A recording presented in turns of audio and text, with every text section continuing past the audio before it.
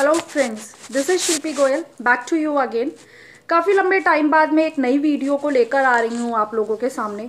दोस्तों, हमारे सबके जीवन में एक ऐसा समय आता है जब हमारी हर चीज़, हर कंडीशन हर सिचुएशन हमारे अगेंस्ट होने लगती है। मतलब हम कह सकते हैं कि हर चीज़ में हमें निराशा मिल रही होती है या हमें फेलियर मिल रही होती है, हार मिल रही होती है। कितना भी बड़ा कोई इंसान हो कोई प्रोग्रामर हो सॉफ्टवेयर इंजीनियर हो, या कोई भी छोटा वर्कर हो, हर इंसान के सामने एक ऐसा टाइम आता ही आता है कि जब आपकी लाइफ में हर एक चीज़ गलत हो रही हो, जब आपकी लाइफ से आप फ्रस्ट्रेटेड हो रहे हो क्योंकि आपको वो नहीं मिल पा रहा है जो आपको चाहिए। हर इंसान, चाहे वो कितना भी बड़ा हो या चाहे वो कितना भी छोटा हो, सबके सामने यूजुअली एक ऐसा टाइम आता ही आता है। लेकिन फ्रेंड्स मेरे को लगता है कि फेलियर से ज़्यादा सॉरी सक्सेस से ज़्यादा फेलियर लाइफ में इंपॉर्टेंट होता है। क्यों?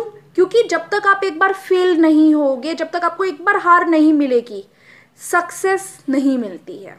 या वो बहुत लक्की लोग होते हैं आई कांट से कि ऐसा सबके साथ है, वो बहुत ही ज़्यादा लक्की लोग होते हैं जिनको पहले ही अटेम्प्ट में सक्सेस मिल जाती है। बट 99 परसेंट वो होते हैं जो एक बार फेल फेलियर को देखते ही देखते हैं और फिर वो सक्सेस की तरफ़ जाते हैं। अब हमारी हिस्ट्री को ही देखें, हमारी हिस्ट्री में कितने बड़े बड़े बिजनेसमैन हैं साइंटिस्ट हैं लेजेंड्स हैं, जो हार हार के जीते हैं। जिन्होंने कितनी बार हार फेस की है, कितनी बार फेलियर फेस की है एंड फाइनली फिर वो जीते हैं। अब आप ही लोग सोचिए कि अगर उन लोगों ने ट्राई करना बंद कर दिया होता, अगर उन लोगों ने अफर्ट्स करने ही बंद कर लिए होते तो क्या आज वो सक्सेसफुल होते? तो क्या आज उनकी लाइफ में कोई भी सफलता आती? आई डोंट थिंक सो कि ऐसा होता। एग्ज़ाम्पल ले लीजिए Henry Ford world wide famous और साथ ही साथ एक बिलेनियर जो कि फोर्ड मोटर के हेड हैं ओनर हैं। उन्होंने फोर्ड मोटर्स में आने से पहले पाँच और बिजनेसेस किए थे। लक उनका फेवर नहीं किया। पाँचों के पाँचों बिज़नेस फेल हो गए। पाँचों के पाँचों बिज़नेस लॉस में चले गए। गाइस हम लोग होते क्या करते? पाँच एफर्ट्स करने के बाद हार मान के बैठ जाते कि हमारा नसीब ही नहीं है इतना स्ट्रॉन्ग कि हम कोई काम करें। ठीक है? पाँच बिज़नेस थे लोन भी बहुत ज़्यादा चढ़ दिया, गया था। अब ऐसे में सेकंड फेलियर मिल गया हमें, हम क्या सोचते भैया, इतना कर्जा पहले ही चढ़ गया, अब क्या करना है? छोड़ो यार, इसे ही उतारना है। लेकिन उन्होंने हार नहीं मानी। उन्होंने छठा बिज़नेस डाला फोर्ट मोटर्स का, और देखिए ना आज वो दुनिया में फ़ेमस है। अपनी मोटर कार्स के लिए फ़ेमस है। तो अगर उन्होंने वो वाले एफर्ट्स छोड़ दिए होते, छठा फर्ट्स छठा स्टेप लिया ही नहीं होता तो क्या आज वो बिलेनियर बनते? तो क्या आज हम सब उनके बारे में डिस्कशन कर रहे होते? आई डोंट थिंक सो दूसरा एग्ज़ाम्पल ले लो आइंस्टाइन चार साल की उम्र तक गाइज़ वो बोल भी नहीं पाते थे। ठीक है? उनको सब क्या सोचते थे कि दिमाग से कमज़ोर है मेंटली अनस्टेबल है। बट गाइज़ आज उन्हीं के प्रिंसिपल्स आज उन्हीं की थ्योरीज का हम लोहा मानते हैं। हम बोलते हैं कि उनसे ज़्यादा अच्छा थ्योरीज किसी की नहीं है। थॉमस थॉमस एडिसन, बल्ब बनाया। बहुत बड़े इन्वेंटर थे, वो बल्ब बनाया था। लेकिन क्या उससे पहले उन्होंने कोई एफर्ट्स नहीं करे थे? गाइज़ उन्होंने उससे पहले कम से कम एक हज़ार एफर्ट्स करे थे। एक हज़ार एक्सपेरिमेंट्स करे थे एंड हर एक्सपेरिमेंट फेल हो गया था। लेकिन बल्ब का एक्सपेरिमेंट करा, क्योंकि वो ट्राई करते रहे। उन्होंने बल्ब का एक्सपेरिमेंट करा सक्सेस मिल गई। गाइस थ्री इडियट देखा है? थ्री इडियट्स मूवी में क्या था? उस मूवी में यही तो था कि आप करते रहो मेहनत, करते रहो मेहनत, एक दिन झक मार के सक्सेस आपके पीछे भागेगी। तो गाइज़ जब तक हम अफर्ट्स नहीं करेंगे, जब तक हम स्टेप्स नहीं लेंगे, जब तक हम फेलियर को हराएँगे नहीं we will not be able to face the test of success हम तब तक सक्सेस का टेस्ट फेस ही नहीं कर सकते। अब आप खुद ही सोच लीजिए, अगर फोर्ड जो है फोर्ड के जो ओनर हैं, अगर उन्होंने पाँच बार एफर्ट्स करने के बाद हार मान ली होती, ठीक है? आइंस्टाइन ने अगर सोच लिया होता कि वो भाई दिमाग से वीक हैं, छोड़ो यार, मैं वीक हूँ तो क्या करना है मैंने? एडिसन ने वो सोचा होता कि भाई एक हज़ार एफर्ट्स कर लिए, जब ये फेल हो गए तो अगला क्या पास होगा? अगर उन्होंने ये सब सोच लिया होता तो क्या हमारे बीच इतनी बड़ी बड़ी इन्वेंशंस होती? नहीं होती ना गाइस तो इसीलिए कभी हमें हार नहीं माननी चाहिए। We will we should never feel like कि हम कुछ नहीं कर सकते। अरे यार, चार बार हो गए, पाँच बार हो गए, छठी बार तो हो सकता है। छठी बार छोड़ो, दसवीं बार तो हो सकता है ना कि आपको सक्सेस मिल जाए। तो guys never ever lose your patience never ever think कि आप कुछ नहीं कर सकते हो। इस दुनिया में अगर हम आए या भगवान ने हमें कुछ मकसद दिया है हाँ वो बात है कि मकसद हो सकता है थोड़ा टाइम ले लिया कम्प्लिश होने में, लेकिन गाइस मकसद सबके पूरे होते हैं। तो guys never ever feel disappointed हमेशा अच्छे से अच्छा सोचना चाहिए।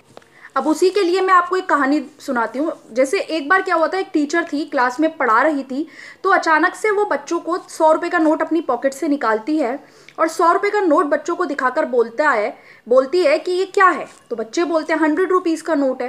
तो कि किसको चाहिए ये हंड्रेड रुपीज़ का नोट सबके सब बच्चे बोलते हैं, सबके सब बच्चे हैंड्स अप कर देते हैं कि हमको चाहिए। अब टीचर ने क्या करा, उस नोट को अच्छे से क्रश कर दिया। बहुत अच्छे से क्रश करा। बोलते हैं, अब किसको चाहिए ये नोट भाई, सौ रुपये का नोट है, क्रश कर दो या कुछ भी कर दो, चाहिए सबको, सबने हाथ ऊपर कर दिए। टीचर ने और भी ज़्यादा गंदे तरीके से उसको क्रश किया और बोला, अब बताओ भाई, ये नोट किसको चाहिए? बच्चे फिर भी बोलते हैं कि ये नोट हमें चाहिए। तो इससे हमें क्या पता लगा? टीचर ने बोला कि, बेटा, जैसे ये सौ रुपये का नोट, चाहे आप इसको कितना भी क्रश कर दो, कितना भी कुछ भी कर दो, इसकी कीमत नहीं घटेगी। ऐसे ही इंसान की कीमत भी कभी कम नहीं होती। वो बात अलग है कि आपको अपने आप को पहचानना होता है and once you realise yourself आप सब चीज़ें कम कर सब चीज़ें अचीव कर सकते हो। बट आपको अपनी कीमत कभी भी कम नहीं समझनी चाहिए। ऑलवेज हमें अपनी वैल्यू अच्छी समझनी चाहिए। हाथी का एग्ज़ाम्पल ले लेते हैं। एक बार एक हाथी बंधा हुआ था नदी के किनारे। यूजुअली आपने कहानी सुनी होगी ये वाली।